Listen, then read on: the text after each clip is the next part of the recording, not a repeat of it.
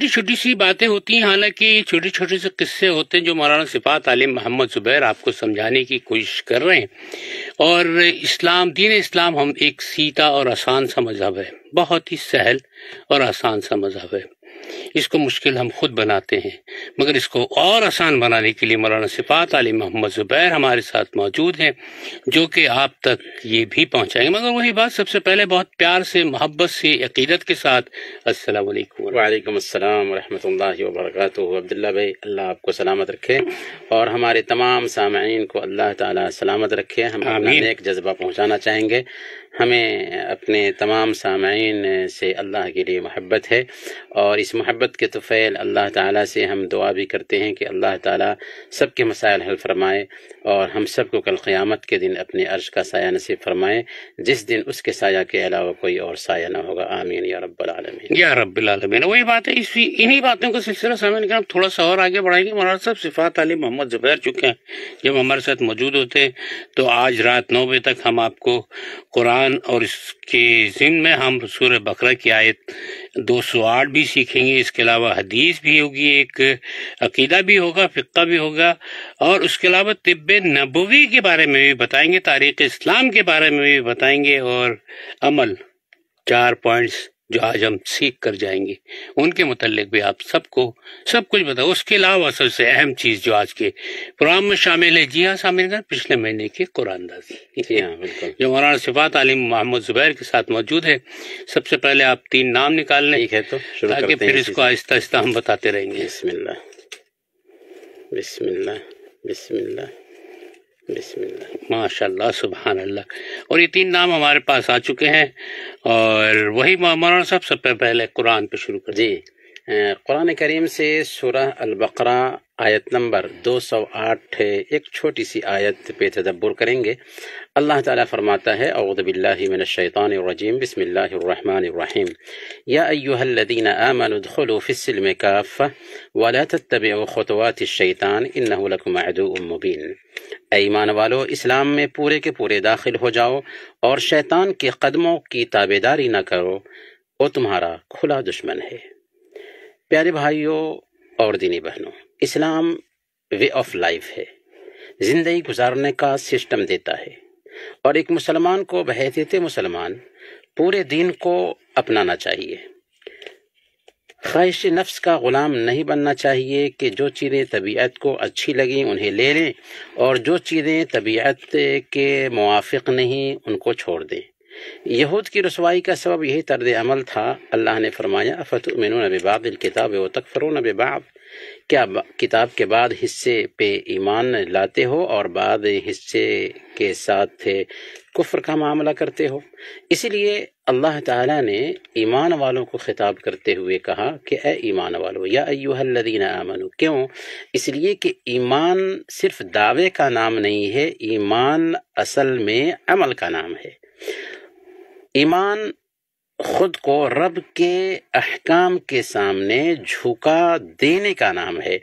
इसीलिए ईमान वालों से कहा गया कि, ए ईमान वालों, इस्लाम में पूरे के पूरे दाखिल हो जाओ। मतलब ये है कि तुम्हारे अकायद तुम्हारी इबादत तुम्हारे मामलात तुम्हारे अखलाकियात तुम्हारे ख्याल तुम्हारे नज़रियात तुम्हारे तौर तरीक़े तुम्हारे रस्म व रिवाज और तुम्हारी कारोबारी ज़िंदगी सब के सब अल्लाह और उसके रसूल के हुक्मों के ताबे हो जाए।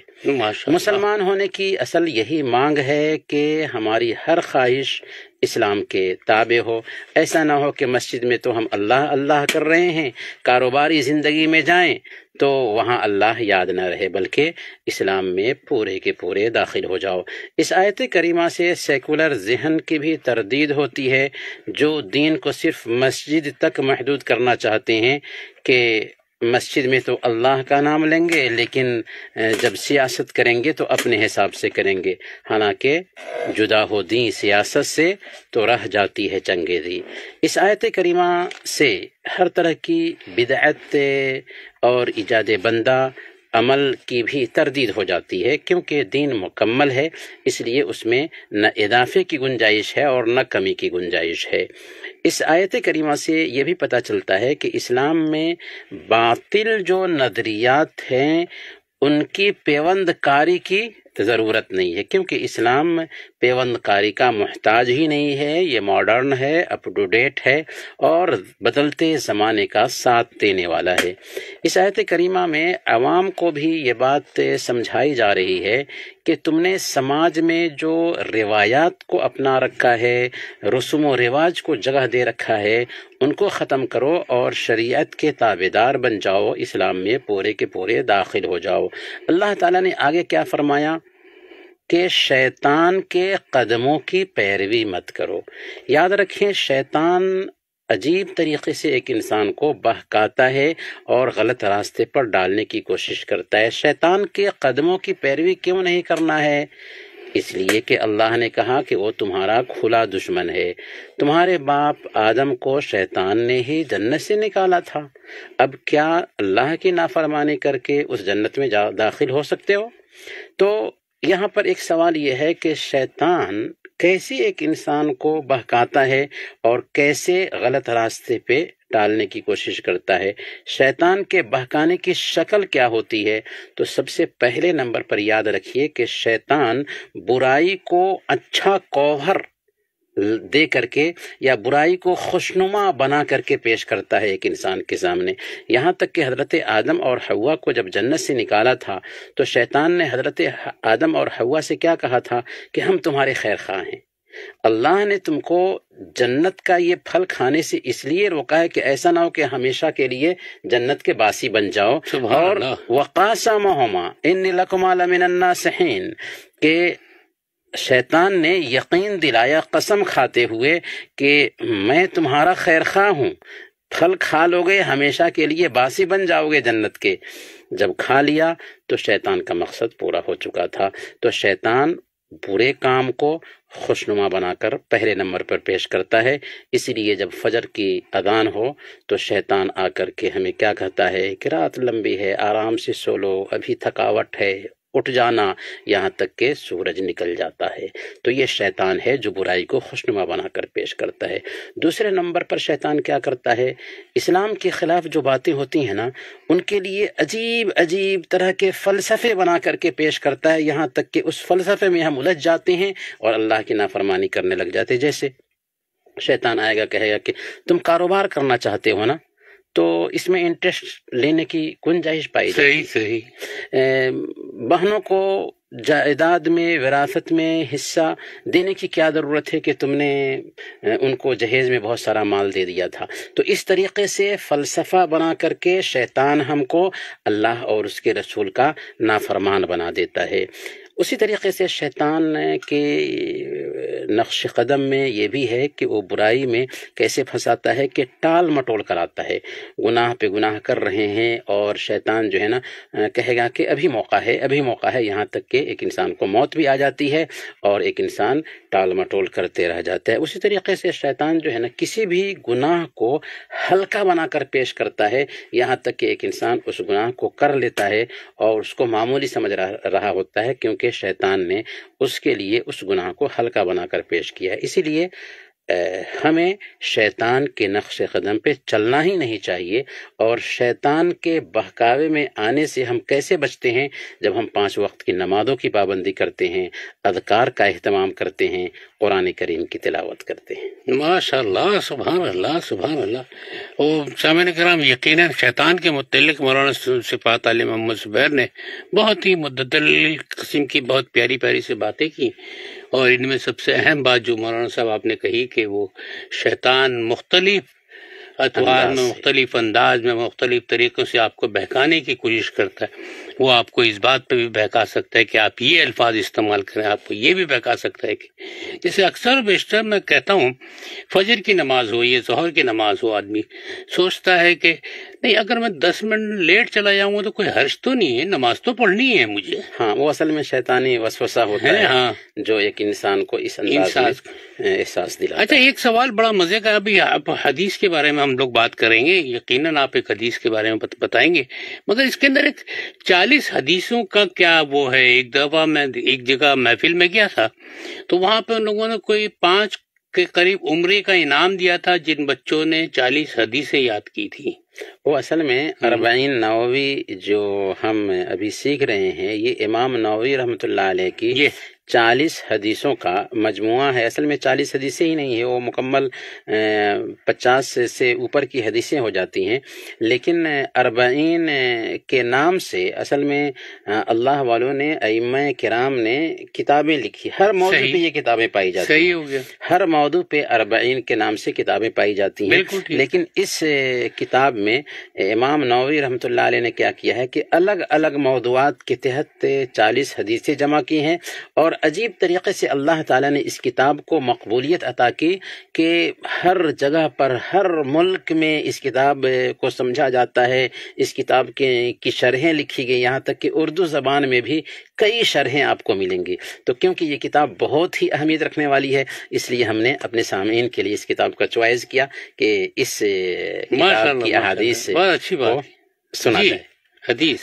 तो आज की हदीस सही मुस्लिम की है। हज़रत अबू जर रदी अल्लाह अन्हु बयान करते हैं कि सहाबे कराम में से बाद सहाबा नबी अकरम सल्लल्लाहु अलैहि वसल्लम के पास आए और उन्होंने कहा कि, या रसूल अल्लाह ज़हब अहलुद्दुसूर बिल उजूर युसल्लून कमा नुसल्ली व यसुमून कमा नसूम व यतसद्दक़ून बिफुदुइ अमवालिहिम।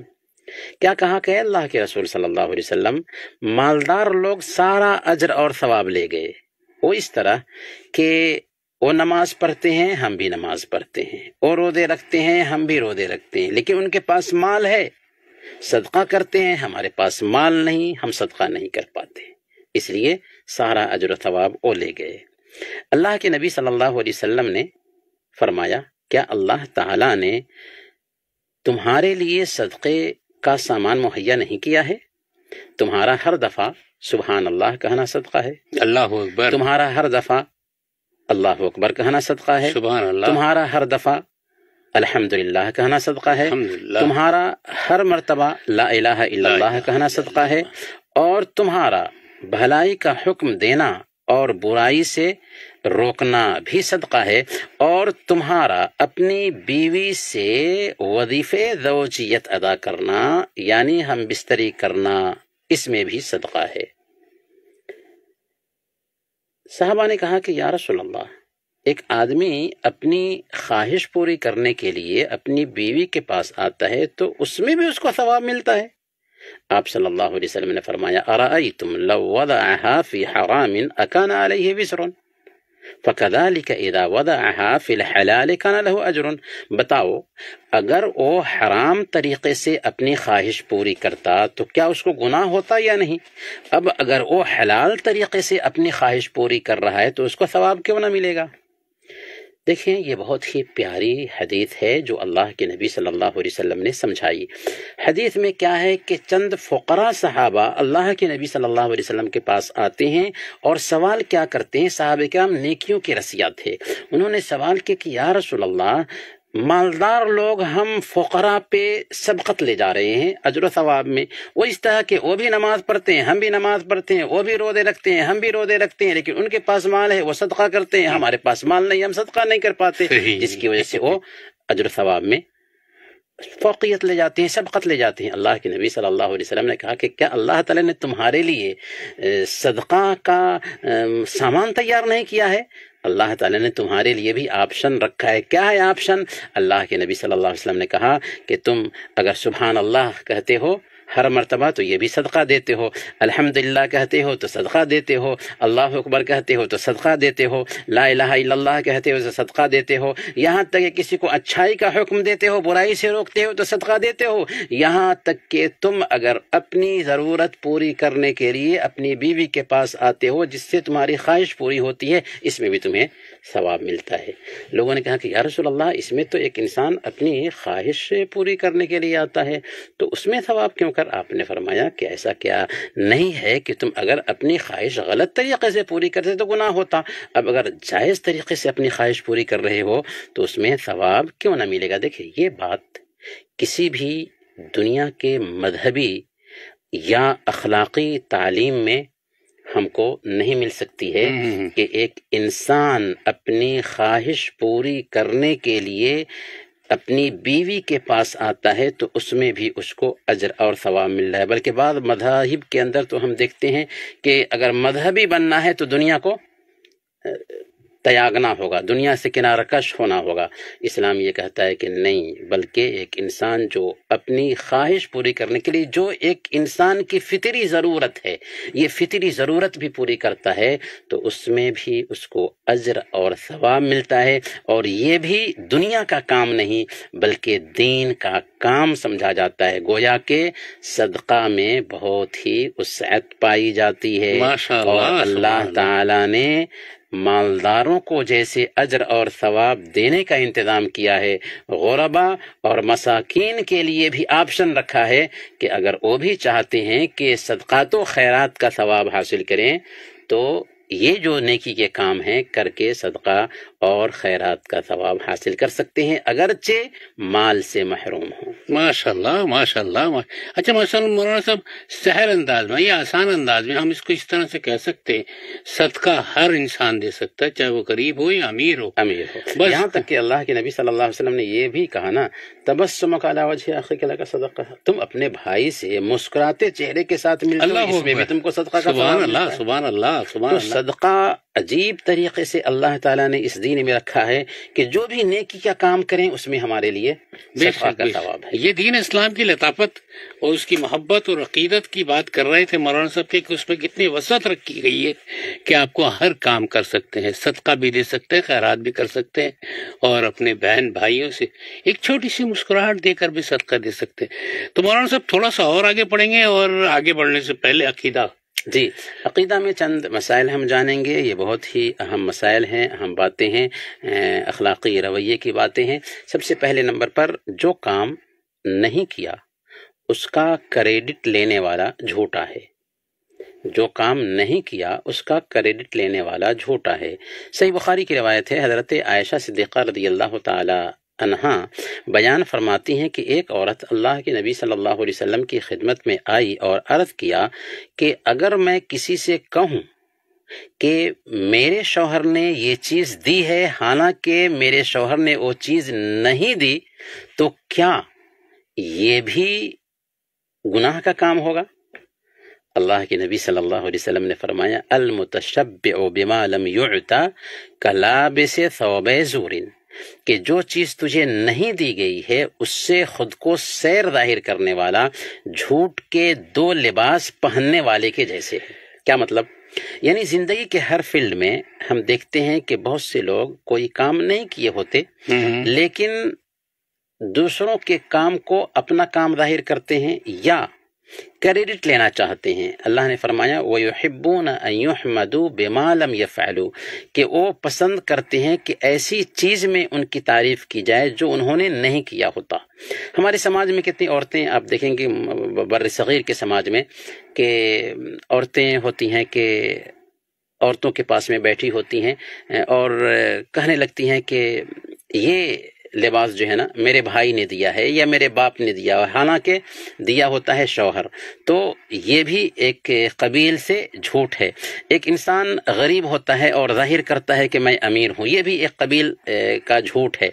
एक इंसान जाहिल होता है और अपने जेब में कलम रख करके लोगों को बावर कराना चाहता है कि मैं पढ़ा लिखा हूँ। तो ये क्या हो गया कि जो चीज़ नहीं है हमारे पास, लेकिन लोगों के पास में ज़ाहिर करें कि वो चीज़ हमारे पास है क्रेडिट लेने के लिए तो ये दरअसल झूठ का दो लिबास पहनने के जैसे है। इसी को अल्लाह के नबी सल्लल्लाहु अलैहि वसल्लम से जब पूछा गया कि अगर मैं किसी औरत के पास में कहूँ कि ये चीज़ मेरे शोहर ने दी है, हालाँकि मेरे शोहर ने नहीं दिया तो क्या ये भी झूठ होगा? तो आपने फरमाया कि जो चीज़ तुम्हें हासिल नहीं है, अगर उसको हासिल करने के बारे में ये ज़ाहिर करो कि ये चीज़ मुझे मिली हुई है तो गोया कि तुम झूठ के दो लिबास पहने हुए हो। आगे की एक हदीत है, अल्लाह के नबी सल्लल्लाहु अलैहि वसल्लम इसमें बयान फरमाते हैं कि नीयत पर भी सवाब मिलता है। सही बुखारी की ये भी रिवायत है, हज़रत अबू मुसा अशअरी रदी अल्लाह तु बयान फरमाते हैं कि अल्लाह के नबी सल्लल्लाहु अलैहि वसल्लम ने इरशाद फरमाया इदामर हब्द अवसाफरा कोतब लहू मिसल मा कान यअमल मुकीमन सहीहा। कि एक इंसान अगर बीमार हो या सफ़र पर चला जाए तो बीमारी से पहले जो कुछ भी किया करता था या सफ़र पर होने की वजह से अगर नहीं कर पा रहा है तो अल्लाह ताला उसके लिए वो सारी नेकियाँ लिख रहा होता है, जो वो नहीं कर पा रहा है उज्र की वजह से। मतलब क्या है? मतलब ये है कि एक इंसान अगर कोई नेकी का काम करने का आदि था। माजूर हो गया, नहीं कर पा रहा है। जैसे जवानी में उसने बहुत सारी नेकियाँ की, बुढ़ापे की वजह से नहीं कर पा रहा है। तो अब अल्लाह ताला ऐसा नहीं करता इंसानों के जैसे कि उसके खाते को बंद कर दे, बल्कि अल्लाह ताला क्या करता है कि चूँकि उसको ये नेकी करने की आदत थी, अब मादूर हो गया, नहीं कर पा रहा है तो अल्लाह ताला उस नेकी का सवाब उसके लिए कन्वर्ट करता रहता है। मिसाल के तौर पर, एक आदमी है कि रात में सोया इस इरादे से कि तहजद की नमाज़ पढ़ेगा। आँख नहीं खुली तो क्या उसको सवाब नहीं मिलता? नहीं, अल्लाह ताला उसको सवाब देता है। क्यों? इसलिए कि वो मादूर है, आँख नहीं खुली, मादूर है, लिहाजा उसको सवाब मिल जाएगा। उसी तरीके से एक इंसान है जो कोई अमल करता था बीमार हो जाने की वजह से वो वजीफा नहीं कर पा रहा है तो अगरचे बीमार है लेकिन चूँकि उसको आदत थी वो काम करने की तो बीमारी की वजह से ना कर पाने की वजह से अल्लाह रब्बुल आलमीन उसको सवाब देता रहता है। तो ये है अल्लाह रब्बुल आलमीन का अमल या अल्लाह रब्बुल का तरीक़ा कि वो नीयत की बुनियाद पर भी सवाब देता है। एक तीसरा जो नुकता है अकीदे के हवाले से, उसमें हम ये जानेंगे कि अगर हमसाया तुझे अच्छा कहे तो तुम अच्छे हो। हमसाया अगर तुझे बुरा कहे तो तुम बुरे हो। इस हवाले से सुनने इबन माजा की हदीत है। हज़रत कुलसुम बिन अलकमा अलखुजाई रदी अल्लाह तु बयान करते हैं कि एक आदमी अल्लाह के नबी सल्लल्लाहु अलैहि वसल्लम की खिदमत में हाजिर होकर के अर्ज़ किया कि कई फली अनआलमा इदा अहसन तो व इदा असातो कि अल्लाह के रसूल अगर मैं नेकी का काम करूँ तो कैसे मालूम होगा कि मैंने अच्छा काम किया है?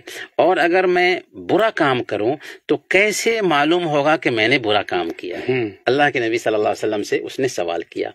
अल्लाह के नबी सल्लल्लाहु अलैहि वसल्लम को जवाम कलीम दिया गया था। आप बात जो करते थे ना तो दो टोक बात करते थे, जामे गुफ्तु करते थे। आपने फरमाया एदा समय तजीरा न यकूलू न कद अहसनत फ़कद अहसनत वईदा समेत हम यकूलून कद असात फ़कद देखो, अगर तुम अपने हमसाया को ये कहते हुए सुनो कि तुमने अच्छा किया तो वाकई तुम अच्छे हो। अगर अपने हमसाया को सुनो कि वो कह रहे हैं कि तुमने बुरा किया तो वाकई तुम बुरे हो। गोया कि मैार ये है कि हमसाया अगर अच्छा कहते हैं तो तुम अच्छे हो। हमसाया अगर तुझे बुरा कहते हैं तो तुम बुरे हो। कहते हैं ना कि जबान खल्क को नकार ए खुदा समझो। तो लोग अगर आपको अच्छा कहते हैं और ख़ास तौर पर आपके हमसाया जो आपके आसपास में रहते हैं तो आप वाकई अच्छे हैं। अगर हमसाया आपको बुरा कहते हैं तो आप बुरे इंसान हैं। लिहाजा हमसाया की नज़र में अगर आप अच्छे हैं तो आप अच्छे होंगे। हमसाया की नज़र में अगर आप बुरे हैं तो आप बुरे होंगे। ये मैार अल्लाह के नबी सल्लल्लाहु अलैहि वसल्लम ने माशाल्लाह सुबहान अल्लाह सुबहान अल्लाह बहुत अच्छी मिसाल दी। और सामिर कराम आप लोग भी होशियार होशियार हो जाएँ, अपने हमसाइयों से खास तौर पर। अच्छा सलूक रखें। बल्कि एक साहब से ऐसे ज़िक्र हो रहा था, मौलाना साहब मुझे बड़ी अच्छी बात याद दिला दी आपने, कि घर में अगर आपके बहुत थोड़ा सा कोई नई चीज़ बनी है तो आसपास थोड़ी सी भिजवाती करें ताकि वो भी चेक करें कि ये अच्छा बना या नहीं बना। तो वो उसमें ये कि हो सकता है कि वो ही आपकी गवाही भी बन जाए। तो आगे चलेंगे फिक की तरफ़ मौलाना साहब जी फ़िक में विरासत के अहकाम हम जानेंगे और पिछले हफ़्ता हमने विरासत के हवाले से ये बात भी नोट की थी कि अल्लाह ताला ने कुछ लोगों का विरासत में हिस्सा मुकर कर दिया है, उनको उतना ही मिलता है। उनको असहाबुल फरोज कहते हैं और कुछ लोगों का हिस्सा मुकर नहीं किया है। जिन लोगों का हिस्सा मुकर कर दिया है, उनको देने के बाद जो भी बचता है, उनको दे दिया जाता है, उन्हें असबा कहते हैं। और असहाबुल फरोज कौन कौन से हैं? शौहर है, बीवी है, माँ है, बाप है, बेटियाँ हैं, बहनें हैं, माँ शरीक, भाई बहन हैं, और दादा दादी हैं। और असबा कौन कौन लोग हैं? जैसे बेटे हैं, बाप हैं, भाई हैं, चचा वगैरह हैं। तो अब हम जानते हैं कि किन लोगों को कितना मिलता है? यानी असहाबुल फरोज कौन लोग हैं? शौहर को देखते हैं। शौहर को कितना मिलता है? अगर एक औरत मरती है और उसका शौहर है उसके पीछे तो अगर उसके पास औलाद है तो शौहर को चौथा हिस्सा मिलेगा। अगर औलाद नहीं है तो आधा हिस्सा मिलेगा। अल्लाह सही है। औरत मरती है शौहर उसके पीछे छोड़ती है अपने पीछे। अगर औलाद थी उसके पास तो शौहर को चौथा हिस्सा नहीं औलाद है तो चौथा हिस्सा मिलेगा। अगर औलाद नहीं है तो आधा हिस्सा मिलेगा। यानी तरीका का आधा हिस्सा मिलेगा। बीवी का कितना हिस्सा है? मिसाल के तौर पर शौहर मरता है और बीवी छोड़ता है अपने पीछे में। तो अगर उसके पास औलाद थी तो बीवी को चौथा हिस्सा मिलेगा। अगर औलाद नहीं अगर बीवी सॉरी अगर बीवी छोरा है और उसके पास औलाद है तो बीवी को आठवां हिस्सा मिलेगा। हम्म, हम्म, और हम्म। अगर औलाद है तो आठवां हिस्सा औलाद नहीं तो चौथा हिस्सा मिलेगा। सही होगी माँ का हिस्सा क्या है? माँ अगर मैयत के पास औलाद नहीं है और भाई बहन भी नहीं है तो माँ को एक तिहाई हिस्सा मिलेगा। यानी कोई इंसान वफात पाता है और उसके पास औलाद भी नहीं है और भाई बहन भी नहीं है। तो माँ को वन थर्ड मिलेगा और अगर औलाद है या भाई वगैरह है तो माँ को छठा हिस्सा मिलेगा। बाप का हिस्सा क्या है? अगर मैयत के पास औलाद है तो बाप को छठा हिस्सा मिलेगा। अगर मैयत के पास औलाद नहीं है मरा है औलाद नहीं है उसके पास तो बाप असबा हो जाएगा यानी सारे माल का आ, मालिक बन जाएगा बाप क्योंकि और कोई है ही नहीं। सही हो बेटी का क्या हिस्सा है? एक इंसान वफात पाता है और उसके पास बेटियाँ हैं तो उसका क्या हुक्म होगा? तो इसकी तीन शक्ल हो सकती है। अगर एक बेटी है तो माल का आधा हिस्सा बेटी ले लेगी। अच्छा। हाँ अगर एक बेटी है बहुत बड़ी बात है हाँ। माल का आधा हिस्सा बेटी को मिल जाएगा। अगर एक से ज़्यादा बेटियाँ हैं तो दो तिहाई हिस्सा बेटियाँ ले लेंगी। उसके बाद जो बाकी है वो रिश्तेदार लेंगे। अगर बेटे भी हैं बेटियाँ भी हैं तो वहाँ पर कायदा होगा कि दोहरा हिस्सा बेटों को मिलेगा और एक हरा हिस्सा बेटियों को मिलेगा। सही हो गया। सही दोहरा हिस्सा बेटों को और एक हरा हिस्सा बेटियों को मिलेगा। अच्छा दादी का क्या हिस्सा है? दादा या दादी का? तो अगर एक इंसान के पास माँ भी नहीं है मरने वाले के पास माँ भी नहीं है मरने वाले के पास बाप भी नहीं है तब दादा दादी उसके हकदार होंगे। अगर माँ है तो दादा दादी हकदार नहीं होंगे विरासत के। उसी तरह से बाप है तो दादा दादी हकदार नहीं होंगे। अगर माँ बाप नहीं है तो दादा दादी को छठा हिस्सा मिलेगा। हम्म, हम्म। बहनों का क्या हिस्सा है? तो वक्त भी हमारा होता है होना हुआ चाहता है। इसी पे हम बस करते हैं कि बहनों का हिस्सा इंशाल्लाह अगले हफ़्ता जानेंगे लेकिन बुनियादी हाँ। तौर पर बुनियादी तौर पर हमने बीवी का हिस्सा जान लिया है शोहर का हिस्सा जान लिया है माँ का हिस्सा जान लिया है बाप का हिस्सा जान लिया है और बेटी का हिस्सा भी जान लिया है। तो आगे हम चलते हैं तिब्बे नबी की तरफ़। क्या? जैसा रिक्वेस्ट की उर्दू नशियात आपसे मुखातिब है और आपको ये भी बताते चले कि बल्कि नाम भी हम खबरों के बाद ही बताते हैं तो अच्छा है। तो समय करम थोड़ी सी देर के बाद फिर जब हम वापस आएँगे तो हम आपको बहुत सारी बातें भी करेंगे। मौलाना सिफात आली मोहम्मद जुबैर हमारे साथ मौजूद होंगे हमारे पिछले हफ़्ते के जो विनर्स हैं, उनके नाम भी हम अनाउंस करेंगे, मगर खबरों के